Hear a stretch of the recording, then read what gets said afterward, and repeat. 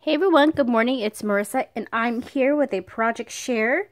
Um, and I'm super excited because um, what I'm showing you is something that I normally, you know, I wanted, I've been wanting to try, so I'm kind of tardy to the party. Um, but I just never did it because I've been so um, intimidated by it. I don't know if some of you guys feel that way sometimes on certain projects where you see everybody doing it, but you think, oh, um, you know, it looks really hard and I'm not going to even try it. So I finally did, and let me tell you guys, I am loving it. I am loving it, and that's why part of it is why I went to downtown LA to go to the Bee Factory. So, and I wanted to give a shout out to Anna and Nurse Tara because Anna is um, Serenity Creations because they are the bomb when it comes to jewelry making and bead dangles and all that good stuff. So, and there's a, lo a lot of other ladies too who um, I've seen make some awesome, awesome bead dangles. So I'm gonna go ahead. Ugh, I'm gonna go ahead and share with you guys what I made. But first, I'm gonna show you some bracelets that I made. So I followed Anna's tutorial. Anna's tutorial with Nurse Tara's um, bead tutorial. So I made this gorgeous bracelet and the beads I got from downtown LA. And this is one of those um, like faux Alex and Ani bracelets. And I followed Anna's tutorial on, it's the adjustable bracelet. So this is, these that I'm showing you are my first ones.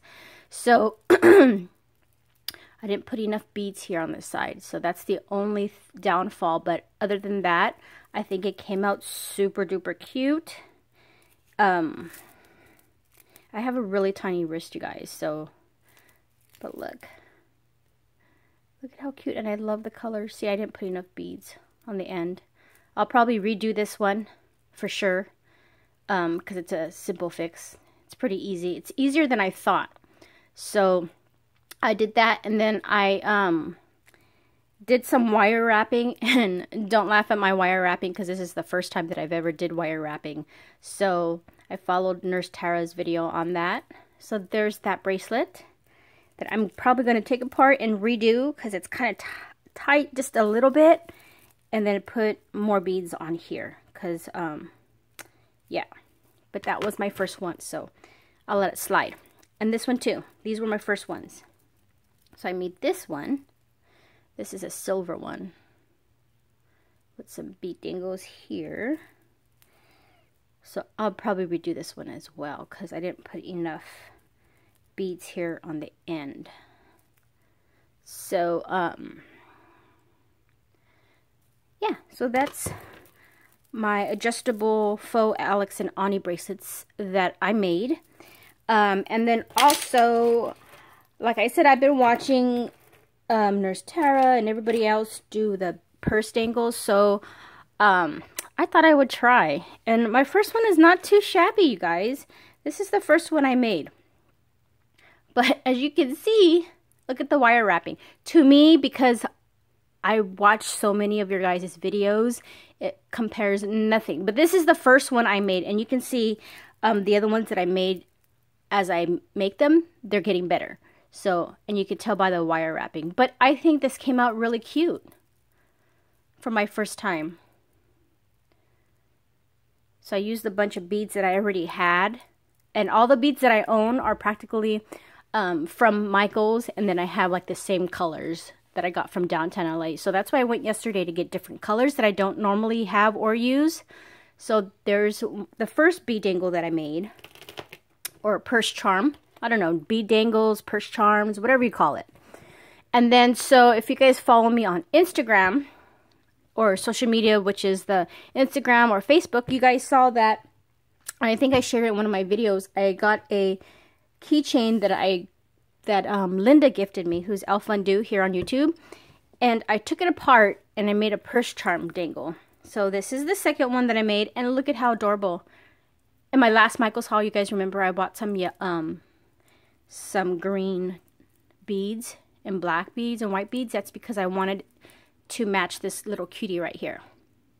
So I took it apart, um, this part, and then there's the flower and the little pineapple and then I um, put some beads on it. Look at how cute. I'm so proud of myself because I went outside of the box, which I normally don't. Once in a while, I'll get, go outside the box, but I wanted to try it because I've been loving all of the bead dangles that everybody's been making. So I thought that came out cute. And my wire wrapping here is a little bit better. So there's the second one that I made. Okay, and then the third one I made, so adorable. Um, I purchased this from Neen. I think her Etsy store is Love Neen.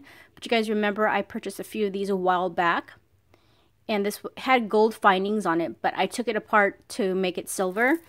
And look at how sucking adorable that is, you guys. And I made a purse bead dingle. Look. Isn't that cute? So I can't wait because I have some other ones that I wanted to um, make as well. So there's the third one. And of course, look at my bead dangles. The wire wrapping look even more better than the first and the second. And then, you guys, I purchased a Shopkins. Those of you who have kids know what Shopkins is. I purchased a keychain that they had at Michael's recently. Um, and so I was like, you know what? That'll be cute on my daughter's backpack. Because uh, my little one, Marley, she will be going into the first grade next month. So she has a Shopkins backpack. So I, ha I had to make a simple bead dangle for her. So look at how adorable, you guys. So I was planning on get my hair from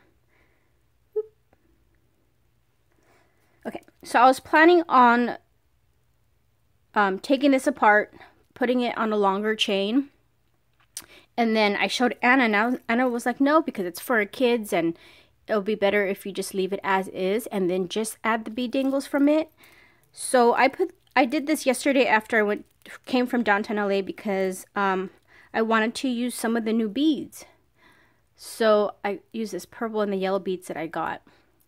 And look at how cute. It's very simple. I only put the um, a few beads on it and it is super cute. So every time I look at keychains now, I'm like, oh, I can alter that. Make that a purse dangle. So you guys will be seeing in my next few project videos that I'll be making a lot of jewelry and a lot of um, some of these purse bead dangles because I've just been inspired and um, they're so much fun to make. So if you guys haven't dipped into doing this yet, you guys should totally do it. It's lots of fun. At least to me it is.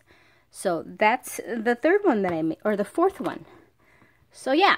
So thanks for watching, guys. I hope you guys like what I made here for the first time. Um, so I hope everybody enjoys their weekend, and I will talk to you guys later. Bye for now. Thanks for watching.